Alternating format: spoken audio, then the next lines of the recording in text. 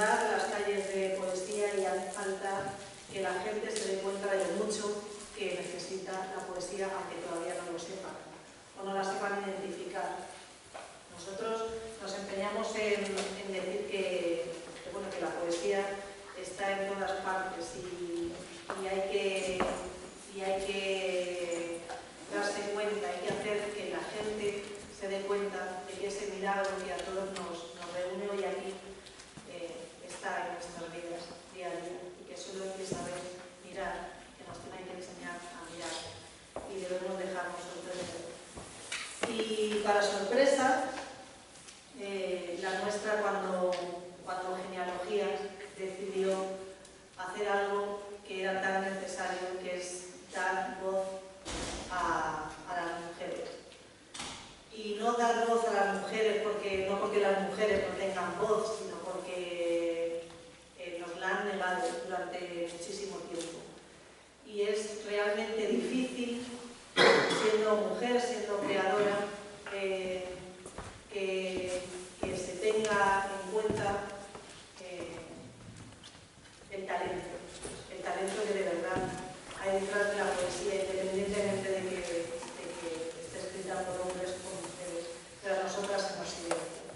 Entonces, eh, que hace falta. Lo está haciendo M también a través de su colección de, mujeres y, lo estamos haciendo creo también desde, la Fundación, el recordar y el mostrar que hay otra poesía más allá de los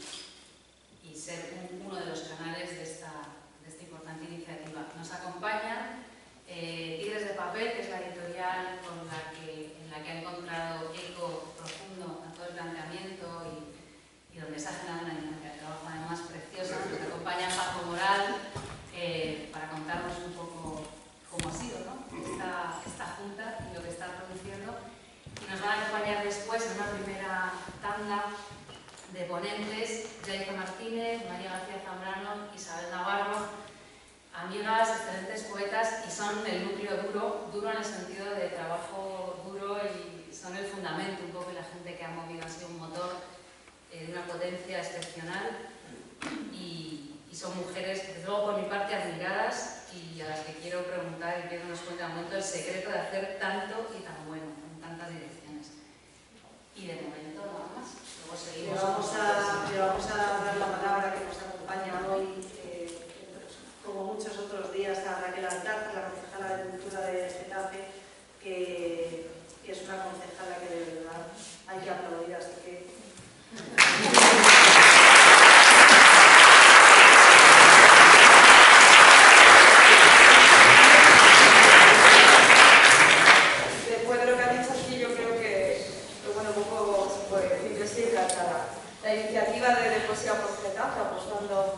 también por el trabajo que se hace desde este centro tan importante, ¿no? Un centro que queremos que siga siendo el referente nacional, que siga siendo un referente de la poesía que tantas actividades tienen y que teníamos que sacarlas a la calle para que lo vean no solo los representantes de la sino todo el mundo que se acerque, que pase, que pase y que vea que la poesía, como dice está en el aire y está en todas partes.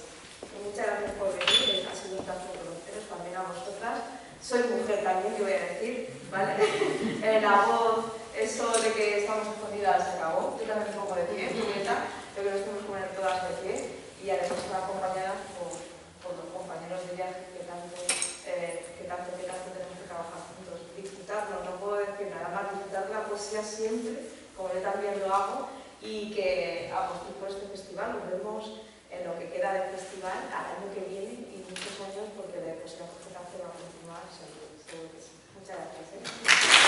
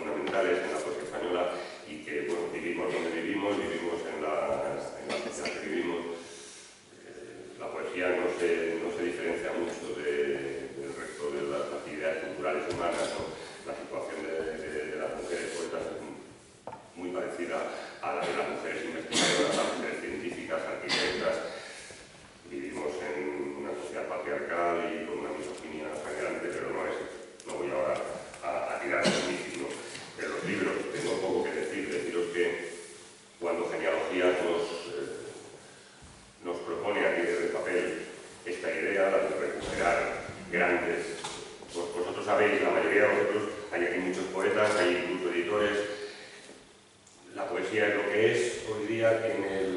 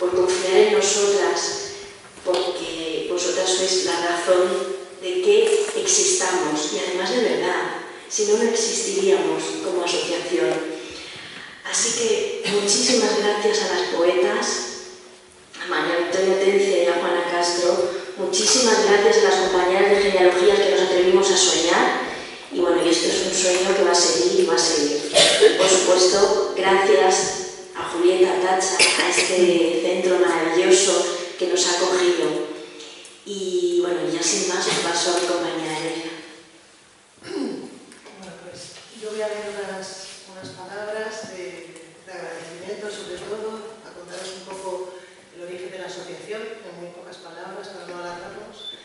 Y bueno, tenía preparado un textito, se ha dicho casi todo, así que bueno, lo voy a leer porque si no me, me pierdo, pero es breve. Quería deciros que la Asociación Genealogías eh, fue creada en 2013, como ha dicho María, y desde entonces se reúne semestralmente en Madrid y hoy día somos más de 40 asociaciones eh, apuntadas en la asociación. Y desde su creación, como bien ha dicho María, nos dimos cuenta de que algunos de los mejores poemas de lengua castellana del siglo XX y de principios del XXI estaban escritos por mujeres y que nos costaba encontrarlos. Y, no solo a nosotras, como lectoras, que podemos poner afán y al final los hallamos. ¿no? Eh, tenemos, muchas compañeras en la, en la que se dedican a la docencia, no podían programar en las universidades ciertos textos porque no podían eh, encargar a los alumnos que fueran a buscarlos a las librerías, tenían que buscar poemas sueltos en internet o, o husmear ahí en antologías a ver si encontraban algo. Entonces decidimos que, bueno, que queríamos paliar este déficit cultural y, y se nos ocurrió que una colección de poesía podría ser importante eh, para recuperar todos esos textos.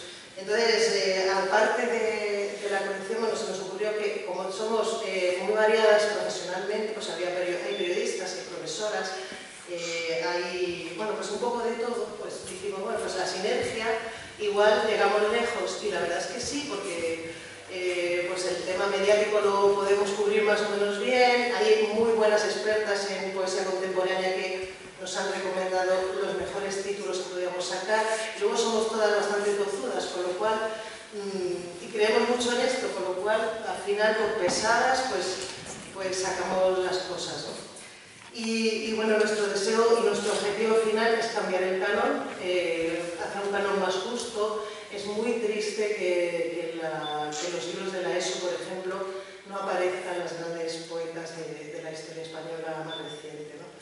Y, y, en este deseo nos hermanamos con investigadoras ajenas a nuestro ámbito, como, como Ana López Navajas, de la que hablé el otro día en, en homenaje a, Córdoba, eh, a Juan Castro de Córdoba, eh, que, que, desde hace unos años está creando una base de datos del de, de papel de las mujeres en distintas disciplinas desde, desde tiempos inmemoriales y eh, con, la, con, la, idea de que eso llegue a los libros de texto. Para nosotras es muy importante que, que capital simbólico que, que nos lean las, las mujeres eh, no caiga en saco roto, porque el problema no es el presente, en el presente suelen estar reconocidas. ¿no? Eh, son, es incontestable el talento que tienen, pero luego no hay, no hay, a lo mejor se carece de un seguimiento crítico, de reediciones, etc. ¿no? Y desaparecen la, la historia la borra. Eh, en la actualidad, que parece que hemos avanzado algo, pues se calcula que en nuestro país solo el 15%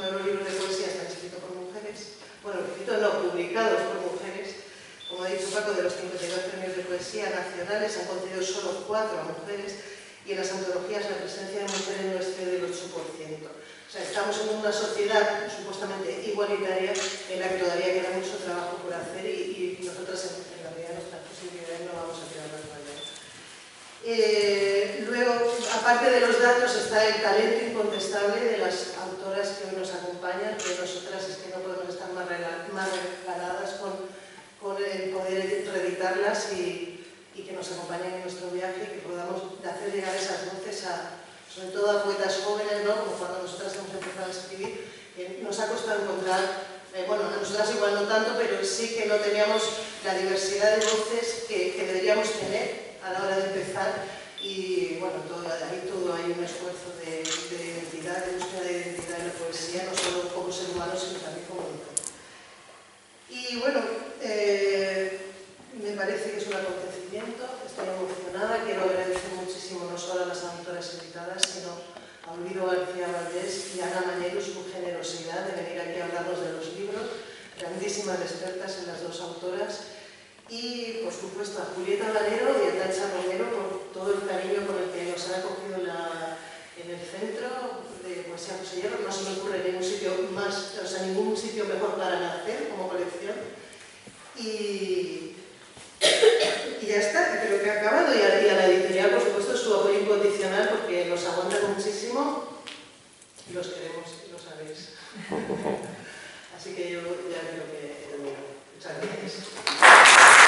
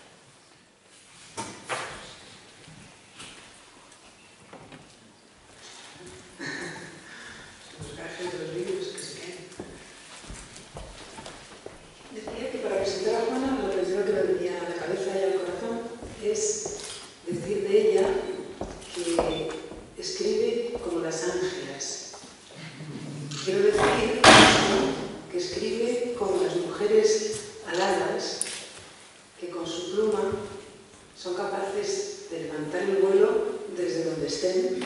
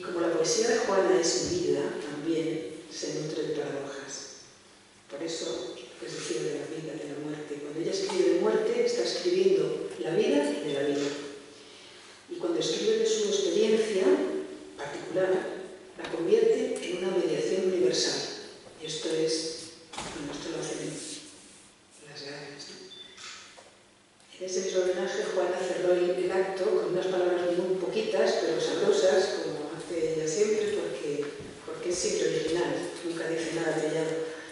Y, y allí nombró con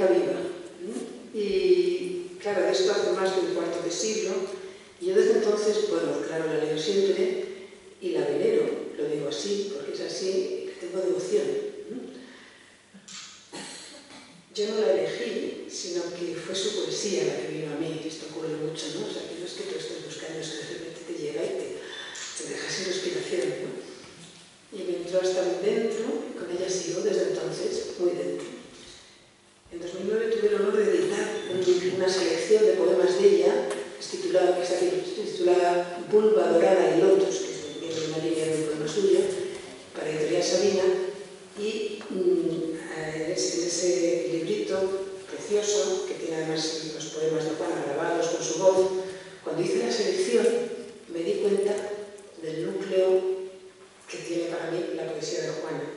Me di cuenta de que cada poema de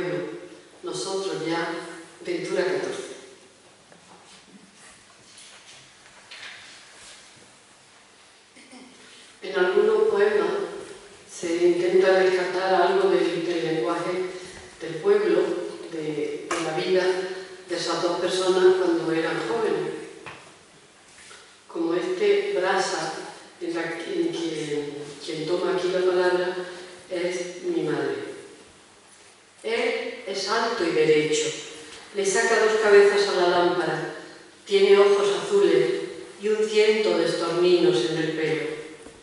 Él trabaja en el sol y saca al aire su pecho que domina el viento y la camisa, su pecho como un dulce almiar tabaco malva. Él canta por la aurora cuando aún es de noche y me deja en la cama la nuez de sus rodillas y en la nuca el temblor de un ramo de poleo crepitando en la jara. Tiene dos columnas de miel junto su hacha y extiende cara al frío la vara de su fuerza. Pero este es un viejo arrugado, maltrecho y con dos dientes, que ladea los pies y la cadera y que comba la espalda como un preso. Y ya ves, ni me habla. 23 telarañas en los párpados. ¿Cómo va a ser este mi marido?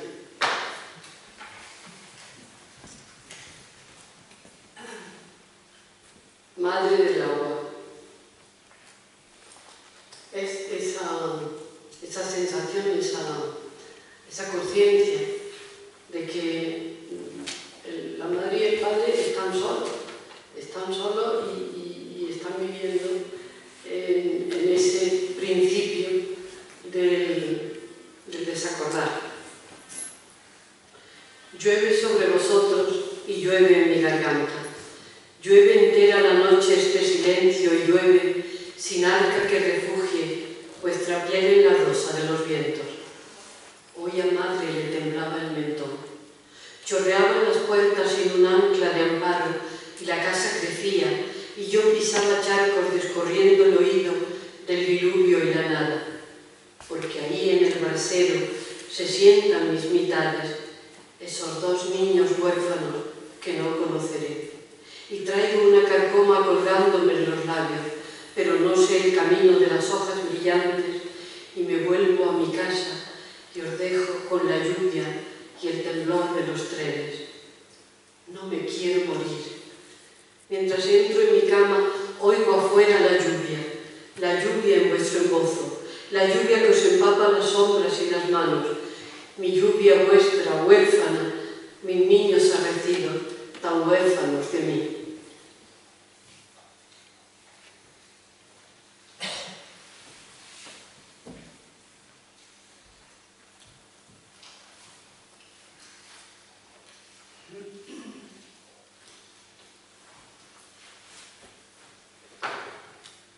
Espejos. Aquí, en lugar de,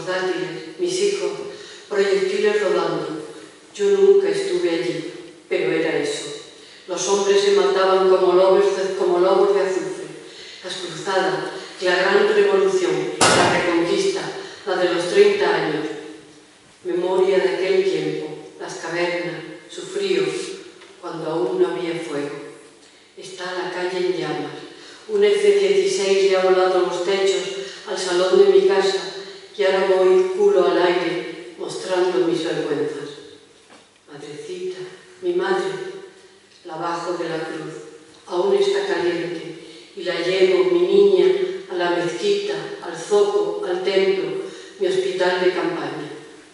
Poco a poco, no llores, le limpio las heridas, le saco la metralla, tomo en mí sus vacilos, la reanimo con leche. Y le digo este sueño. Yo también soy culpable, porque extiendo un dibujo sentada en la impudicia, con las manos manchadas, pisando los cadáveres. Y el fulgor de los patrios nos levanta en el viento y nos tira en la mesa donde está el desayuno. Mermelada de fresa y un cortado, muñones de mi madre. Ya no se siente nada, las palabras de siempre.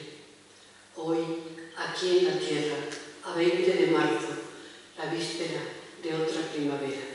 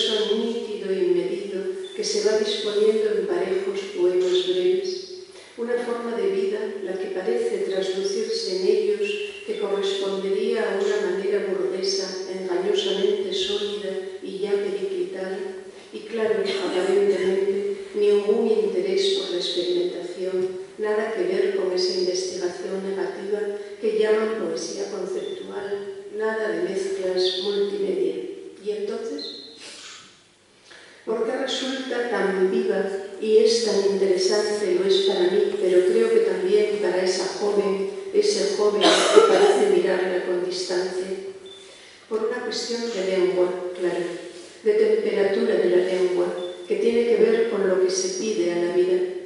La vida que vivimos solo una vez y a la que hay que pedirle todo. María Victoria Tencia le ha exigido a la vida la mayor intensidad y eso muestran los poemas, desde los de Marta y María que presentamos en esta preciosa colección de tan gran valor simbólico que es las genealogías. Muestran también los poemas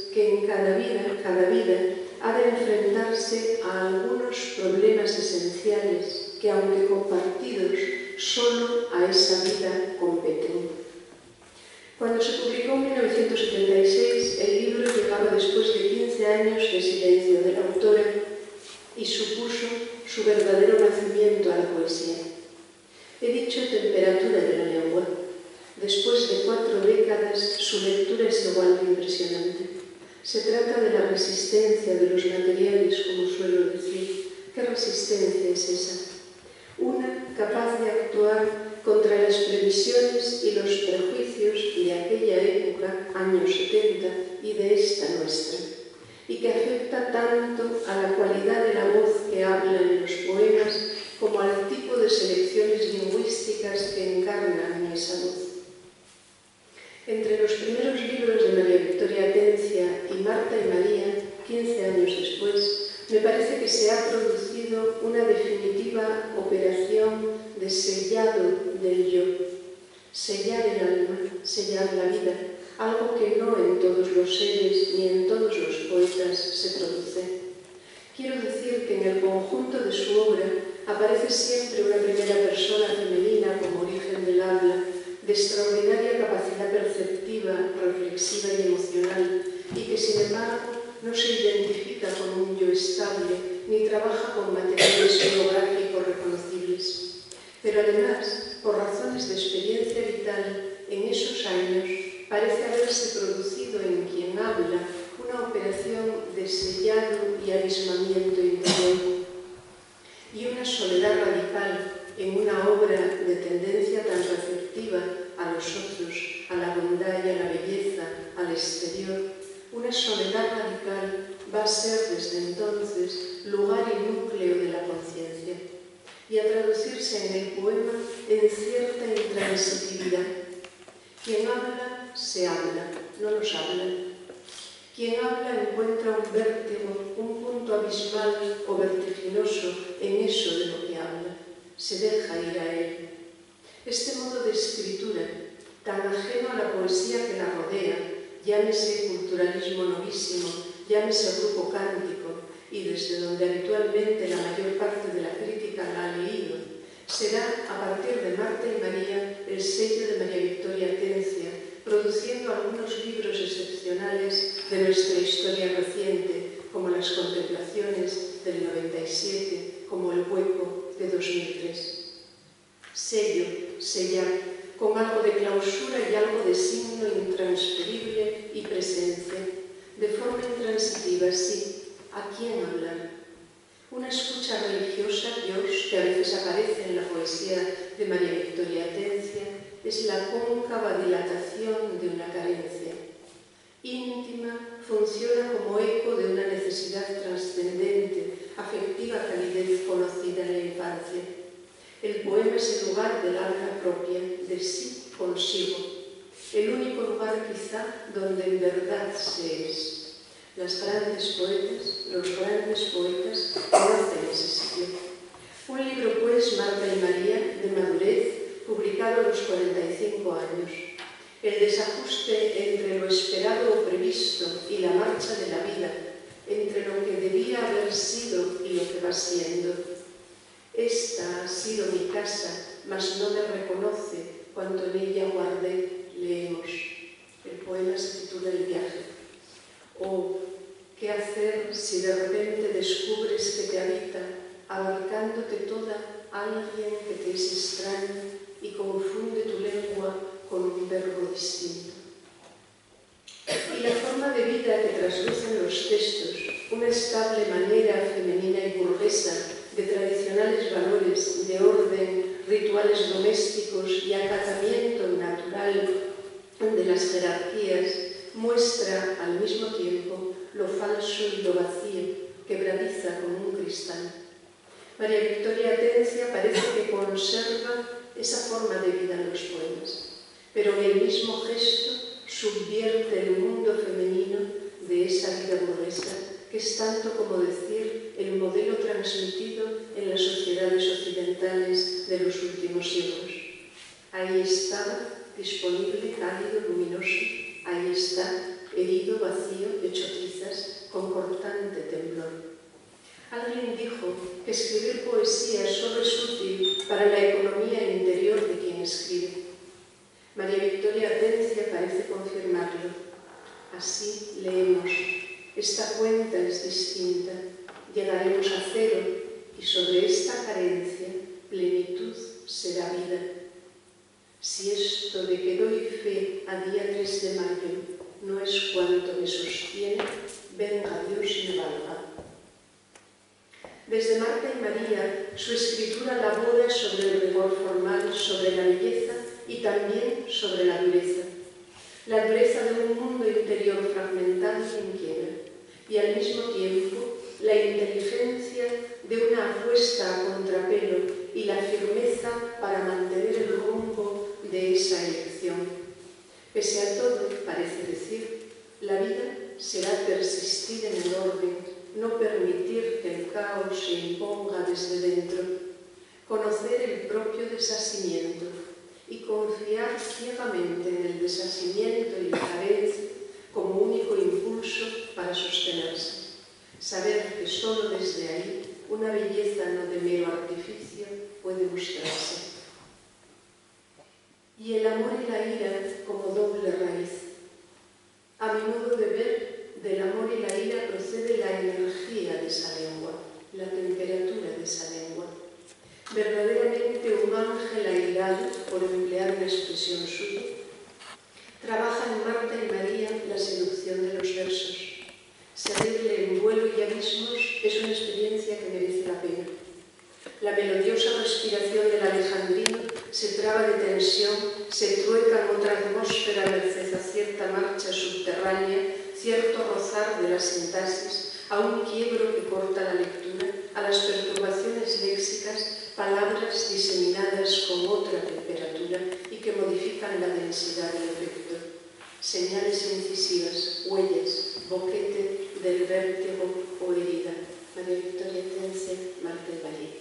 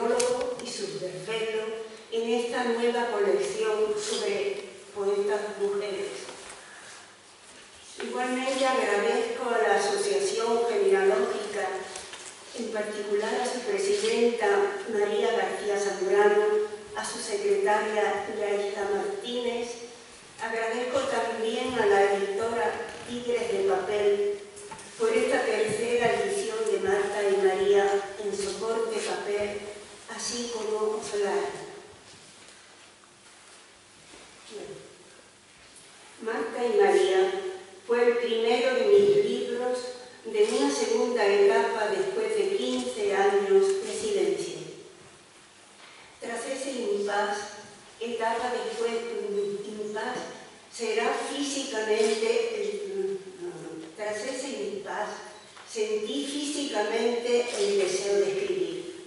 Para mí fue como una puerta a otra forma de ver, de ver la poesía. No sé si mejor o peor. Salió como una tromba de mi corazón directamente al papel. Aquí lo tenéis. Lo siento de una manera especial y os lo entrego con el deseo de que pueda abriros una luz en este mundo de poesía en el cual nos debatimos. Voy a dar eh, lectura de unos cuantos poemas de Marta y María. Mar, sabéis más o menos que soy de Málaga, que vivo realmente junto al puerto de Málaga y el mar rodea mi casa, o sea, mi vista desde que me levanto es el mar.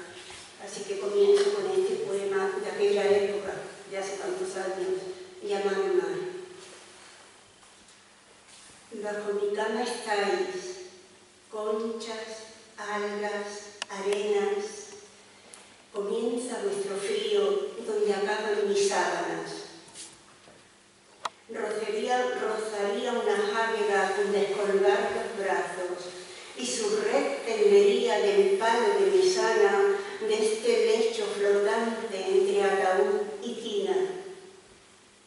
Cuando cierro los ojos, se me cubren de escamas.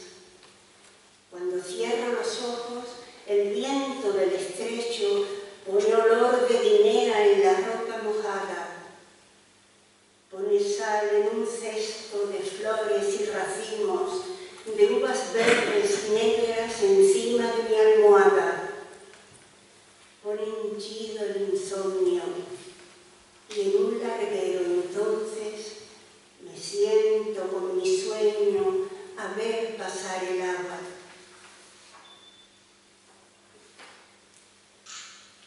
Heredarán los campos. Ahora que quiero hablar, dame toda la fuerza de la que he carecido, pues se te fue la mano en amor y dulzura, y así no me es posible despojarme de un miembro en un momento dado.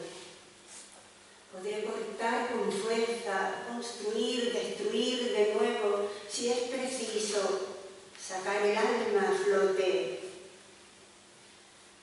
¿A quién debe temer si la razón me asiste? Mas ser el centro y eje donde todos se apoyan hace que el plantearme me resulte más duro.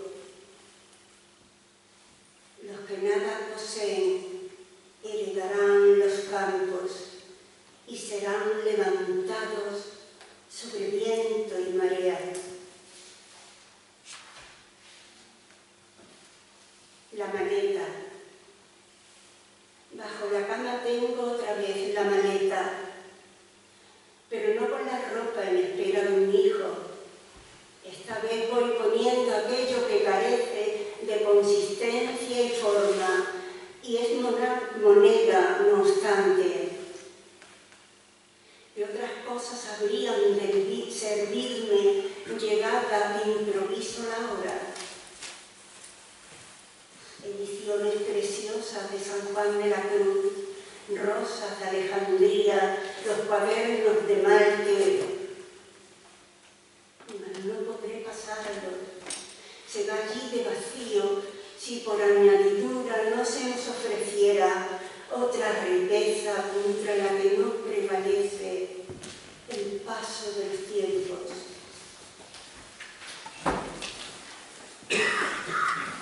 Cuando he conocido olvido, me asusta ver que pueda, en un lugar distinto, encontrar un propósito de bienestar diario. Señales de intención me las dan manos y gestos, y ante ellos palidezco sin remedio posible. Y cuando me desnudo, apagadas las luces, tiemblo a veces sin son, y otras porque comprendo. Pues preciso es que vuelva al seno de la noche para encontrar en ella cuanto escondió el olvido. Por instante he de sorber las horas de un despiadado sol que mi garganta muerde. El pabellón oscuro me invade en su asilo. Solo en él no recojo los panes de otras manos.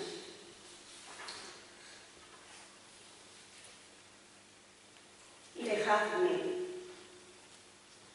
dejadme como cuando nací, desnuda y sola, vacía de palabras, solo aire en el pecho y en mis venas corrían los cursos de un arroyo. Que vuelvan a su origen los gestos usuales y que al abrir mis ojos solo penetre en ellos un punto de luz pura. Que por la enredadera de las horas se pierda mi memoria y mi nombre. Que el tacto de las rosas me abandone en la tarde y en la humedad del alba retorne nuevamente al olor de las juncias.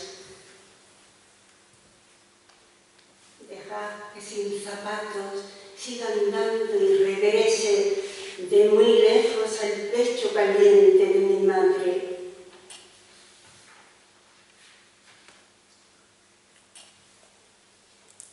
¿Qué hacer si de repente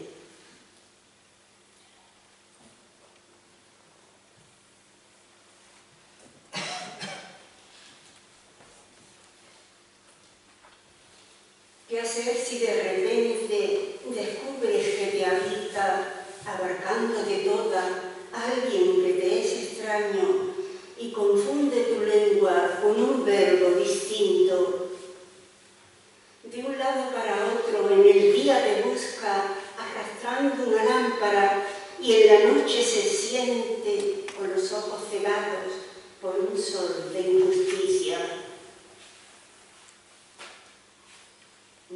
cosa podrías que echarte en el tumulto, gritar bajo las olas, sacudir con bambúes la raíz de tu cuerpo, desear la mandrágora, proclamar el secano el resto de tu vida y dormir para siempre en la isla de Guadalupe.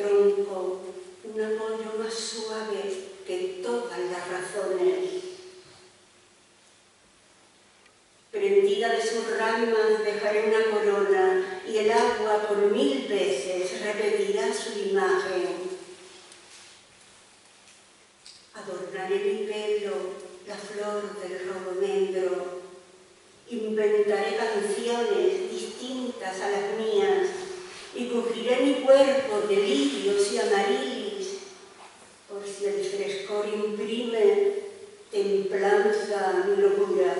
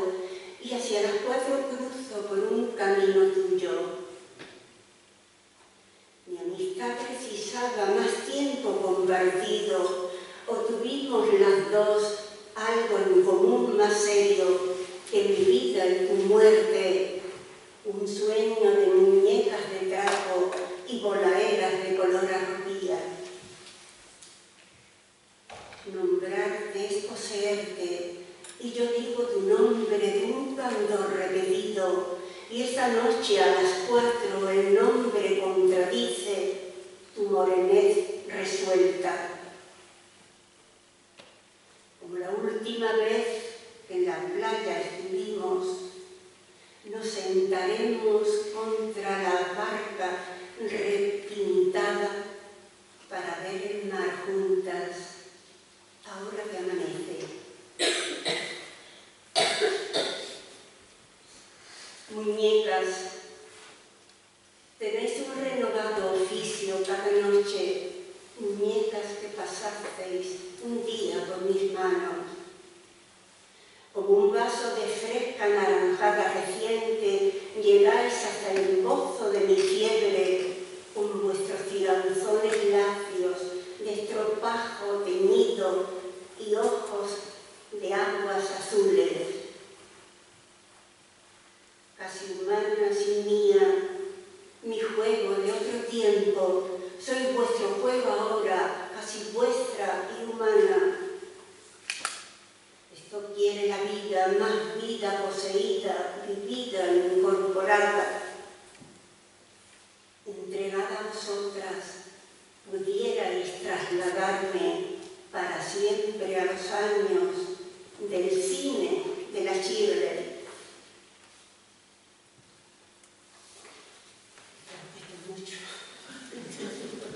No quiero cansarlo, por favor.